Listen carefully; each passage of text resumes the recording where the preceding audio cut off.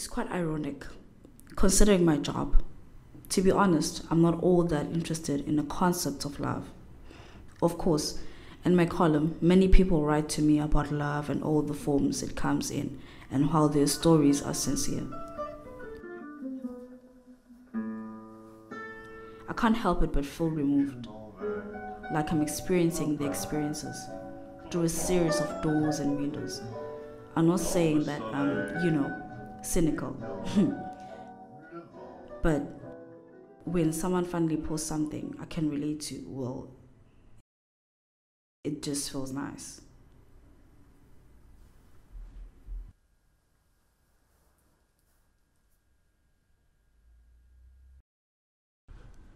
Today, a psychic on the internet told me that the positions of my birth and the asteroids and the planets affects the way I love and communicate. And that my planetary transits would be disrupted by the Mercury retrograde. She told me that my 0 degree Saturn combined with my Sagittarius rising makes me a natural runner, which made me laugh. I hate running, but she urged me to try 15 paces and then 100. Eventually, it would awaken something within me. I wake up and I'm already tired. I get up, I go outside, I go for a run, I have no clue where I'm running to.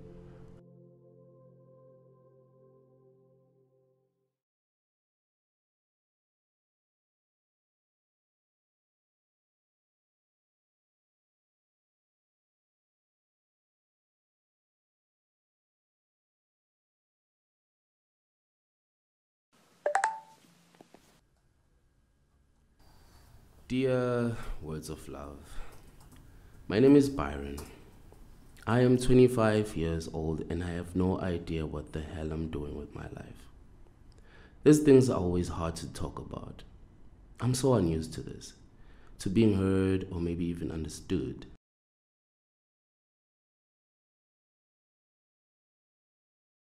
My name is Robin. Isn't that funny? Our names are anagrams of one and the other.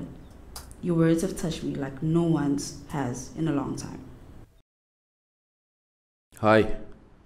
I think my last email was a mistake. I really didn't mean to press send or to bother you. I don't really need anything right now. But thank you, anyways. Are you a Gemini? I usually guess this kind of things right. I'm right, ain't I? You've just never found the right person who will listen to you, no matter how silly you think you are. I'm a Libra, which means you guess wrong. If I could think of just one thing, I could probably talk your ear off about some of the differences between a modern and a vintage road bike. I can tell you how I'm so fascinated again and again by razor ads for women where they literally shave their already smooth, shiny legs. I wish I could come up with a lie interesting enough to tell you. The last thing I remember doing was taking a BuzzFeed quiz to find out what kind of potato I am based on the colors I chose for each question. I'd like to think I'd be a roast potato with melted butter and rosemary. If you could travel to any point in time, where would you go? I think I miss being 10. I remember being 10 and crying to be picked up so someone could wrap a long bandage around the little scrape on my knee. I would stop crying immediately because it didn't really hurt that much to begin with, you know. I get that. It's going back to the moments when everything was possible again, and you didn't know what or who lied ahead, and you didn't care because it was so far away. Honestly, I spend most of my days thinking about the future and about being somewhere else. Well, I'm happy you're here now. Talking to you has made me realize I didn't know I was hiding so much goodness inside of me. I hate that I have to say goodnight. I honestly wish you'd never shut up. I always want to hear what you have to say. But before you go, I have one last question to ask. What is it? When can I hear your voice? Pick either A, B, or C. A, tomorrow. B, next week. C, never. A. tomorrow. Maybe. I'll think about it.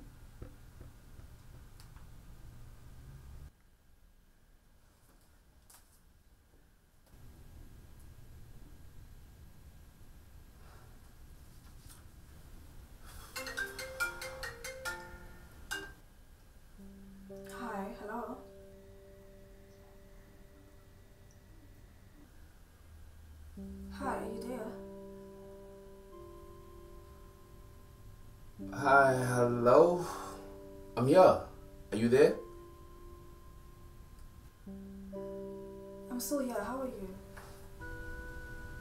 Good. I'm good. That's good.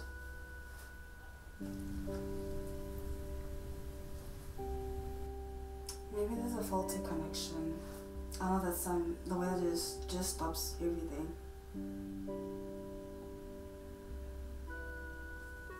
So, um, when did you want to meet? Yeah, I don't think I'll make it. I have this thing. You know what? Um, I actually finally booked a flight to Paris next week, so I'm not sure if I can make it next time.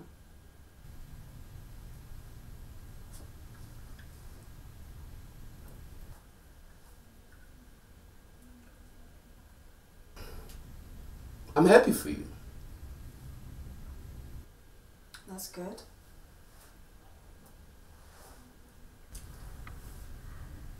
Goodbye, Robin. I hope you have a safe flight.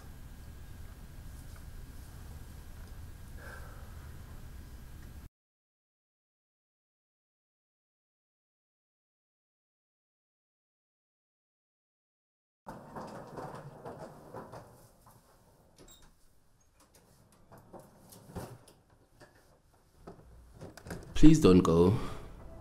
I'll teach you French proper. If you still would like to see my face, I'll be standing on the edge of the field past Windflower Lane.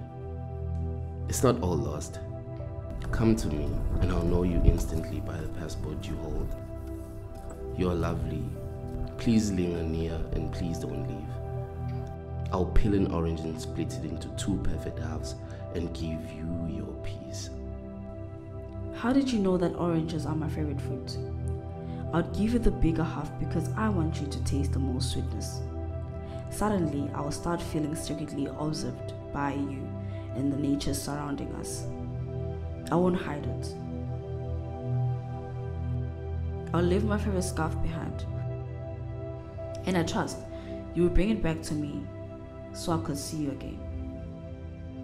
Sincerely, words of love, Robin. Sincerely, user deactivated. Byron.